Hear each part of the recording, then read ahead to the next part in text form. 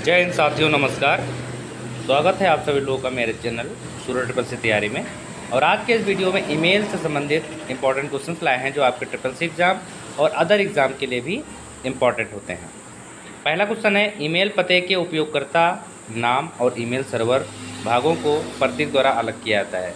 तो यहाँ पर जो उपयोगकर्ता लिखा है, जैसे कि कोई ईमेल आईडी आपकी होती है, जैसे लिखा होता है A B C one two three at Gmail dot com तो यहाँ पर ऐड के पहले का जो भी पोर्सन होता है, उसको हम यूज़र नेम बोलते हैं।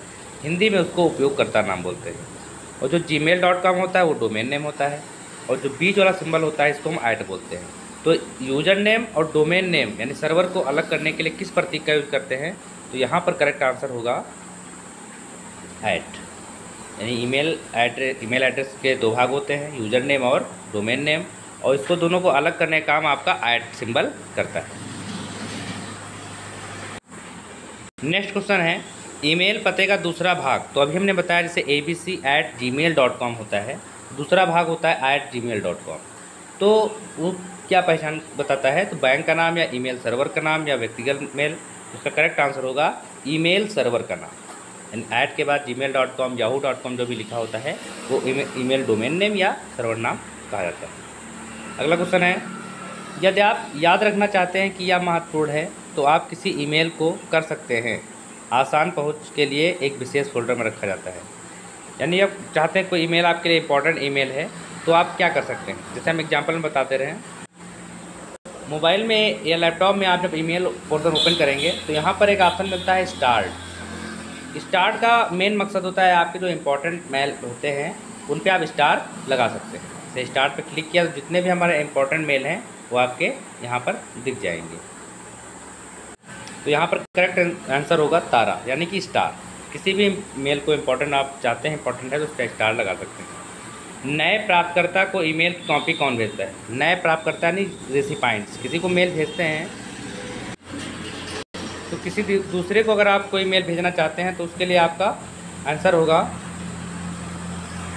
आगे, यानी फार अगला क्वेश्चन है ईमेल पते का पहला भाग क्या कहलाता है? तो अभी हमने बताया जैसे A B C at Gmail dot com होता है। तो जो आगे का जो पोर्सन होता हुआ है, जैसे यहाँ पे लिखा Suraj one two three at Gmail dot com तो ऐड के पहले का जितना भी भाग है, उसको हम यूज़र नेम बोलते हैं या व्यक्तिगत उपयोगकर्ता का नाम बोलते हैं। अगला यहाँ पर है Gmail dot com Yahoo dot com Yahoo dot C O dot in Y mail dot com Rediff dot com ये लोकप्रिय क्या है? तो ये आपके ईमेल सर्वर होते हैं। जी मेल डॉट कॉम आप सब सभी लोग यूज़ ही करते हैं जी मेल लेकिन इसके द्वारा Yahoo dot com Rediff mail ये सारी चीज़ें भी आपकी ईमेल से संबंधित होती हैं। अगला करेक्ट क्वेश्चन है एस एम टी पी का अर्थ है। तो एस एम टी पी जो होता है ईमेल का एक प्रोटोकॉल होता है। आप जब भी कोई मेल भेजते हैं किसी को तो वहाँ पर S M T P protocol work कर रहा होता है। तो यहाँ पर इसका फुल फॉर्म पूछ रहा है।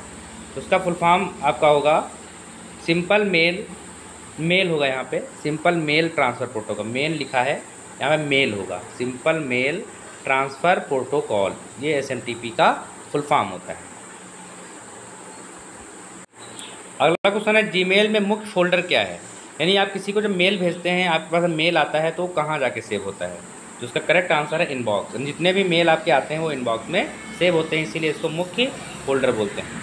अगला क्वेश्चन है, जिन लोगों को हम ईमेल भेजते हैं, उन्हें क्या कहते हैं? हम, आप अगर किसी को मेल भेज रहे हैं उसे हम प्राप्तकर्ता कहते हैं रेसिपाइंट्स बोलते हैं।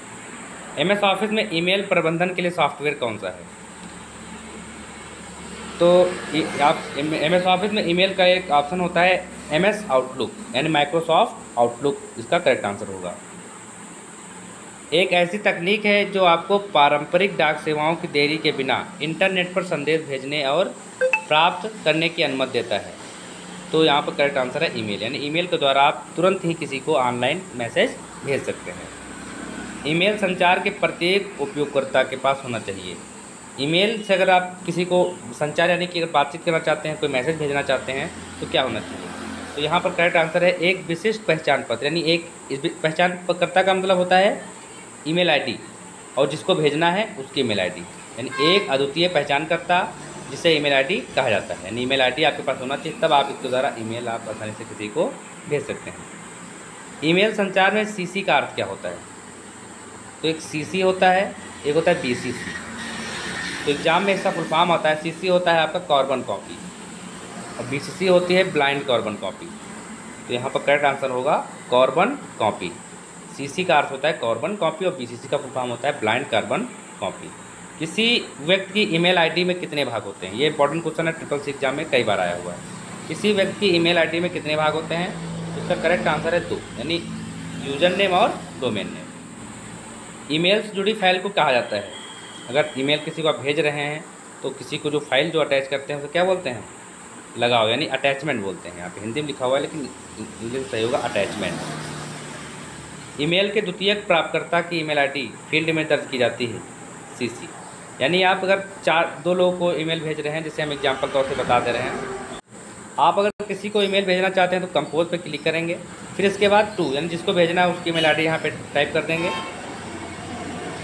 फिर इसके आगे यहाँ पर जब हम क्लिक करेंगे तो यहाँ पर एक ऑप्शन मिलता है सी सी यहाँ पर। सी सी में क्या होता है, हम किसी दूसरे की ईमेल आईडी डाल सकते हैं। इस तरह से।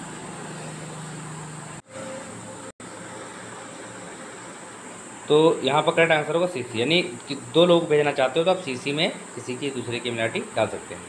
अवांछित ईमेल को फ़िल्टर करके अलग किया जा सकता है स्पैम अवांछित मतलब होता है जो अनवांटेड मैसेज होते हैं, जो एडवर्टाइज टाइप के मैसेज आया करते हैं, जो हमारे किसी खास के द्वारा नहीं भेजे गए होते हैं, उनको अवांछित मेल बोलते हैं, उसको स्पैम में भेज सकते हैं डिलीट करके उसको किनारे कर सकते हैं स्पैम के आप ईमेल को सही तरीके से कैसे प्रारूपित करते हैं?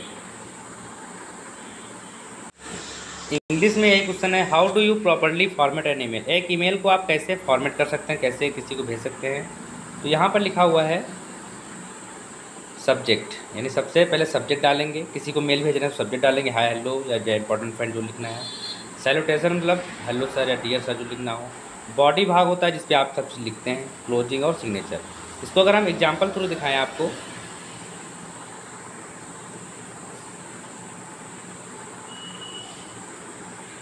तो ईमेल में आप सभी लोग यहाँ पे देख पा रहे होंगे सब्जेक्ट किसी को ईमेल आईडी जिसको भेजना होता है टाइप करते हैं, फिर बीसीसी में इसको डालना है। सब्जेक्ट में जो भी लिखना है हाई हेलो जो भी लिखना लिख सकते हैं। ये जो कंपोज मेल है, ये आपका बॉडी पार्ट होता है। इसमें जो भी आप बात आप अपनी लिखना चाहते हैं, आप लिख सकते हैं। फिर इसके बाद नीचे आपको क्लोज होता है और यहाँ से आप सेंड कर सकते हैं।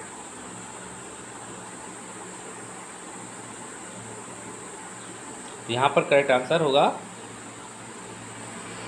For what does B C C stand for when sending an email जब ईमेल भेजते हैं तो बी सी सी का अर्थ क्या होता है? इसका अर्थ होता है blind carbon copy a half completed email में save for later editing and transmission यानी यहाँ पे अगर हिंदी में इसको देखते हैं तो बता रहे आधी भरी हुई फ़ाइल यानी ईमेल जब हम कोई टाइप करते हैं फोड़ते या भेजते नहीं हैं, उसको हम सेव कर लेते हैं। तो कहाँ पे सेव होता है?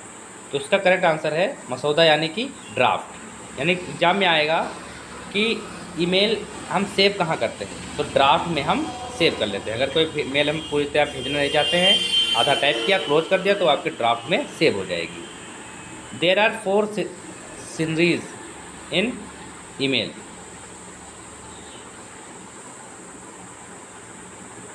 चार परिदृश्य ईमेल में।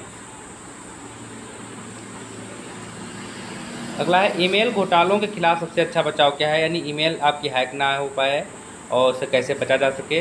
उसका करेक्ट आंसर होगा be escaped when you are out for यानी जब आपसे व्यक्तिगत जानकारी मांगी जाए तो संशय में यानी जब कोई आपसे ऑनलाइन जब कोई काम कर रहे हैं, अगर पर्सनल डिटेल मांग रहा है तो वहाँ पर आप सावधान होना चाहिए। यह बताने के लिए किस शब्द का प्रयोग किया जाता है कि इंटरनेट स्कैमर्स लोगों को हमारी व्यक्तिगत बातें जानने के लिए क्या करते हैं? तो उसका करेक्ट आंसर होता है फिशिंग फिशिंग के द्वारा लोग ऑनलाइन आपके ईमेल के थ्रू आपकी डिटेल जान सकते हैं. इंटरनेट युग की शुरुआत में इलेक्ट्रॉनिक मेल द्वारा भेजे गए संदेश छोटे और शामिल थे. तो यहाँ पर केवल पाठ, यानी केवल टेक्स्ट पहले जब ईमेल भेजना शुरू हुआ था तो केवल टेक्स्ट ही यूज़ किया जा सकता था. किसी को फ़ोटो या वीडियो फ़ाइल नहीं भेज सकते थे. और उन्नीस सौ इकहत्तर में रे टामलिनसन द्वारा पहला ईमेल भेजा गया था. रे टामलिनसन द्वारा. फिर और जो इसमें इम्पोर्टेंट है all email send by the users में भी सेव्ड इन यूज़र द्वारा जितने भी मेल भेजे जाते हैं, वो कहाँ सेव होते हैं? वो आपके सेंट बॉक्स में या सेंट मेल्स में सेव होते हैं।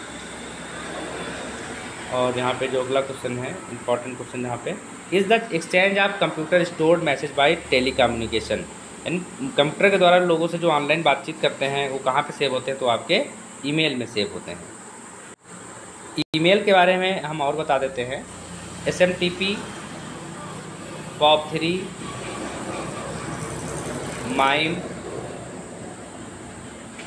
ये आपके ईमेल के इंपॉर्टेंट प्रोटोकॉल हैं। एग्ज़ाम में इसके फुल फॉर्म पूछ जाते हैं तो एस एम टी पी का full form simple mail transfer protocol POP three का फुल फॉर्म होता है post office protocol multipurpose internet mail extension MIME का फुल फॉर्म होता है, और आई मैप ये आपके इंटरनेट के प्रोटोकॉल इनके द्वारा ईमेल आप सेंड कर सकते हैं और रिसीव कर सकते हैं। और वीडियो फ़ाइल, ऑडियो फ़ाइल भेज सकते हैं। मिलते हैं अगले वीडियो में कुछ और अच्छे से इंपॉर्टेंट टॉपिक के साथ। नमस्कार, जय हिंद।